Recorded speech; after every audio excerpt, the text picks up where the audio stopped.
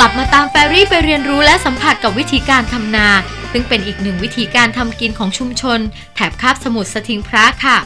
เอาละค่ะ ตอนนี้แฟรี่กับพี่ลมก็มาอยู่ที่บริเวณท้องทุ่งนาของอำเภอสทิงพระค่ะ เดี๋ยวจะมาทำการเรียนรู้วิธีการทำนาของที่นี่กันค่ะ วิธีการทำนาที่นี่เขาทำยังไงบ้างคะพี่ลมค่ะที่นี่เขามีการไถดะไถแปลแล้วก็หว่านเพื่อรอน้ำฝนค่ะ ที่ฝนจะตกเนี่ยอ๋อเพราะว่าที่นี่เนี่ยมันจะเป็นพื้นที่ที่ขาดแคลนน้ำเราต้อง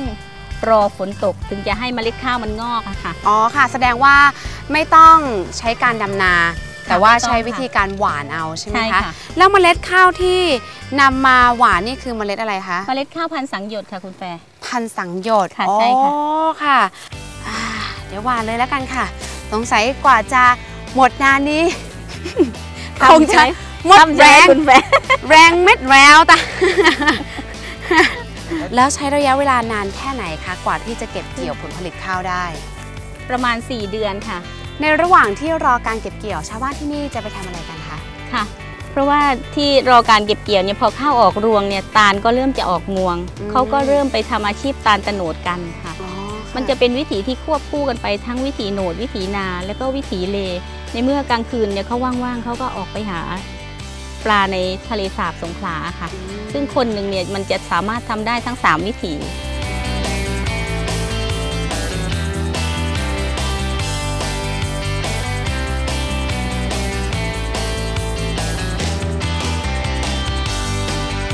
นี่ค่ะ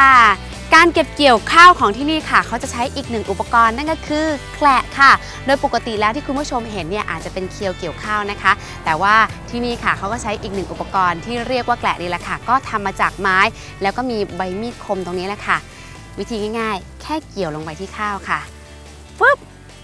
แล้วก็ใช้ใบมีดแหลมคมแกละออกมาอย่างนี้แหละค่ะ ง่ายดายมากได้แล้วค่ะ รวงข้าวเพียบเลย โอ้โอ้ปักใต้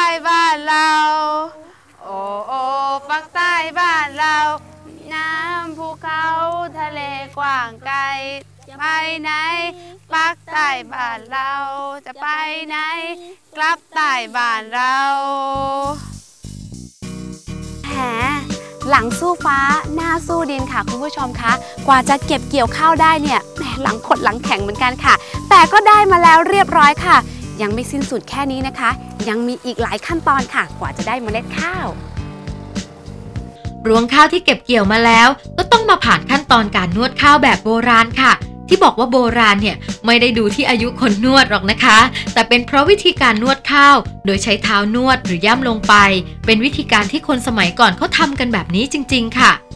การนวดข้าววิธีนี้จะทำให้เมล็ดข้าวหลุดออกจากรวง แล้วจึงเอานำมาฝัด เพื่อเอากากและใบข้าวที่ติดอยู่ออกนำเอาเมล็ดข้าวเปลือกที่ได้ ไปสีในครกสีโบราณ เพื่อกระทาะเปลือกข้าวให้หลุดออก และข้าวที่ได้จากขั้นตอนนี้ เราจะเรียกว่าข้าวกล้องค่ะ แต่ถ้าหากเรานำข้าวเปลือกมาตำแล้วฝัดเอากากและเปลือกข้าวออก ก็จะได้เมล็ดข้าวที่เราเรียกว่า ข้าวซ้อมมือค่ะ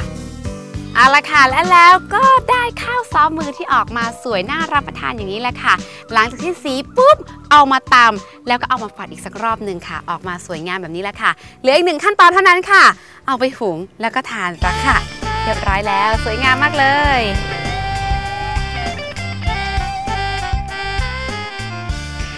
ดร่มลมเย็นมองเห็นพระอาทิตย์กำลังจะลับขอบฟ้า เป็นสัญญาณบอกว่าถึงเวลาแบกกระเป๋าเข้าโฮมสเตย์กันแล้วค่ะ ตลอดวันนี้เราได้ดูวิถีโหนดหรือตาลตโหนด วิถีนาหรือการทำนาแล้ว ช่วงหน้าแฟรี่จะไปลองล่องเรือ ดูวิถีชีวิตที่เรียกว่า วิถีเลค่ะ